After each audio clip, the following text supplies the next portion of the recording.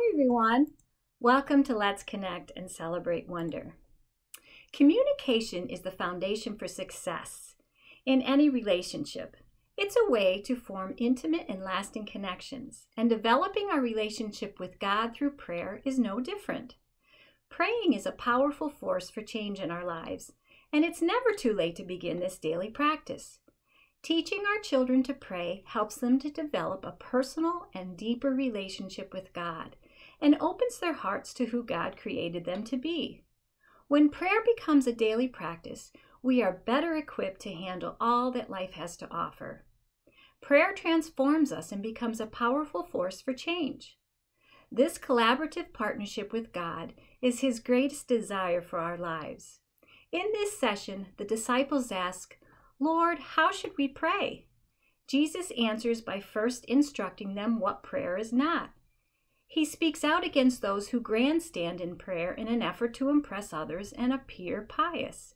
He does not by any means condemn public prayer, but teaches us that prayer is not showy or meant to gain attention. It's not repetitive, babbling, using meaningless words. It's a simple form.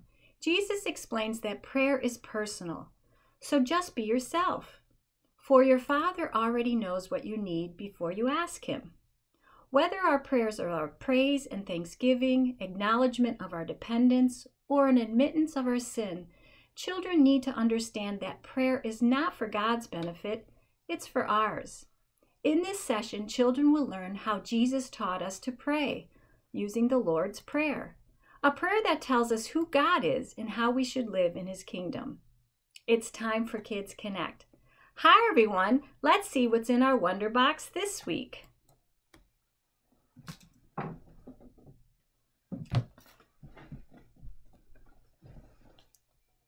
Hold that. In our story today, the disciples asked Jesus how to pray. Jesus explained that praying is how we talk to God. Talking to God is no different than talking to people who we are close with like our family or our best friend. We can just be ourselves. Jesus taught the disciples the Lord's Prayer.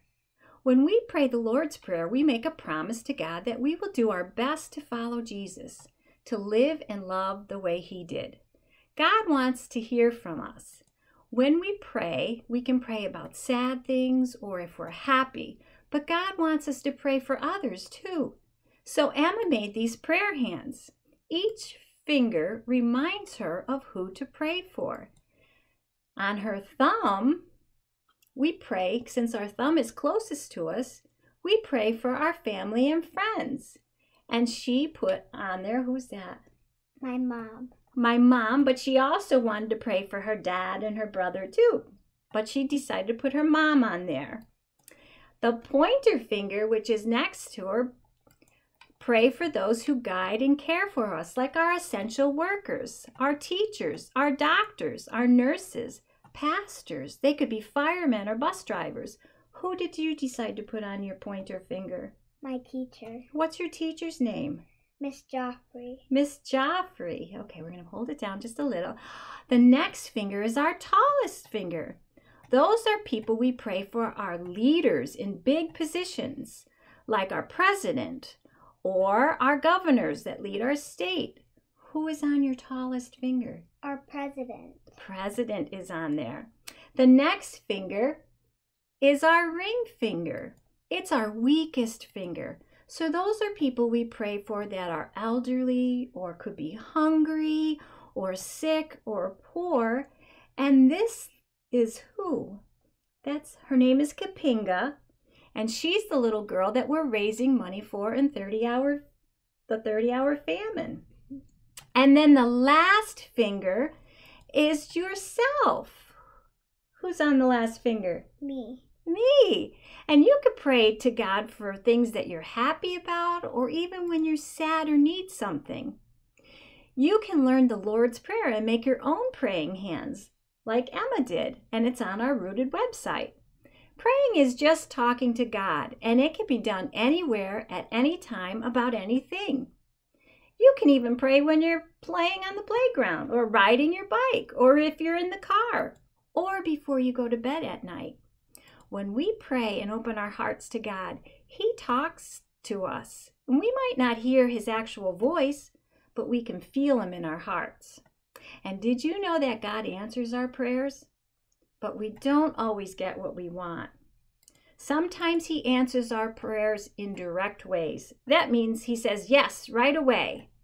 Sometimes He answers our prayer in delayed ways. It takes time. It could take days, it could take months to get an answer, or it could even take years.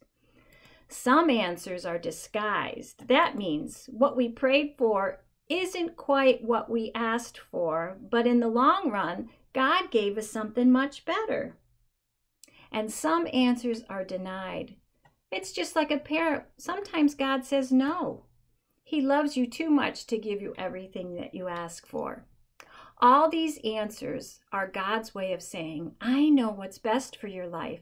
You may not understand the answers I give you, but trust me because I love you and I will always protect and guide you. So, boys and girls, have a great week. Love and miss you all.